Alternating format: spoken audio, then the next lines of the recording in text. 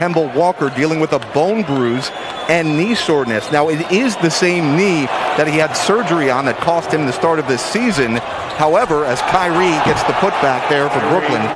Led by 13 at the half. And now up 100 to 77, 23 point advantage. Kyrie Irving makes it a 26 point lead. You know, for years it was like six was it six years in a row? I think James Harden led the league in free throw attempts until this year. His are down this year because his role has changed. You know, a little bit here in oh, Brooklyn. Oh, oh Kyrie Irving made 29 field goal attempts, only missed 12 in those two quarters, the second and third. Irving is just sending silencer after silencer up.